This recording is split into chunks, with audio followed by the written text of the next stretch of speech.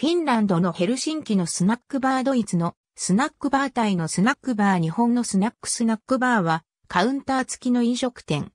日本では高速道路の休憩施設以外ではアルコール飲料を提供するものを指すが、日本以外ではアルコール類を提供しないものも含む。アルコール以外に軽食を提供するバーというのが名前の由来。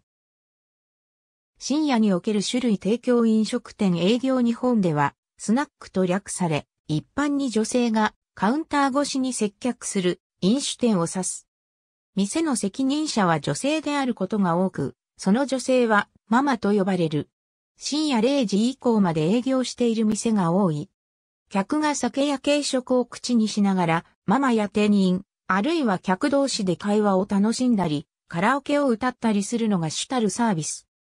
提供するアルコール類、料理類はあくまでその補助に過ぎず、ブランデーなど高価な商品がある一方で、安価な香類焼酎などが提供されることも多いのが、バーとの違いである。1970年代前半頃まではあえて、今風に言うと、カフェバー形態を指し、昼間はパフェなどのデザートメニューも展開していた。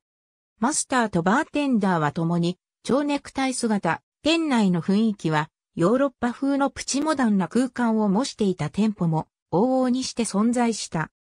その後、流行の変化でファッショナブルな印象のあったスナックという名称はそのままに、客層の高齢化とともに、業態も現在のように変化した。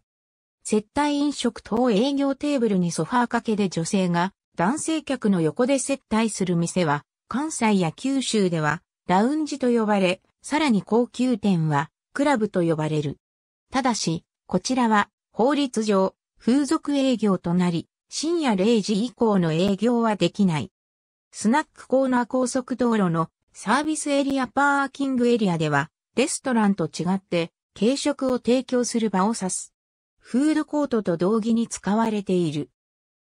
歴史、第二次世界大戦後、バーやキャバレーといった、いわゆる風俗は地方自治体の青少年保護育成条例の影響で24時を超えての深夜営業が不可能となった。そこで、いわゆる風俗とは異なって深夜営業が可能なスナックバーが誕生した。日本の地方自治体で最も早く青少年保護育成条例を制定したのは1950年の岡山県であるが、スナックバーの誕生に最も影響を与えたのは1964年8月1日の東京都の東京都青少年の健全な育成に関する条例である。これ以降、全国津々浦々にスナックバーが広まった。これを昭和のスナックブームと呼ぶ。令和の時代になり、スナックのリバイバルブームが起こっている。法律上の位置づけ、食品衛生法に基づき、所在地を管轄する保健所に飲食店営業の許可を得て営業している。午前0時以降、アルコール類を提供する場合は、別途、風俗営業等の規制及び、業務の適正化等に関する法律に基づき、各都道府県の公安委員会に対し深夜種類、提供飲食店営業の届け出をしなければならない。なお、深夜種類提供飲食店と風俗営業は兼ねることはできないので、風的法上の接待はできない。そのため、カウンター越しに接客をしている。時間制の場合、キャバクラと呼ばれる。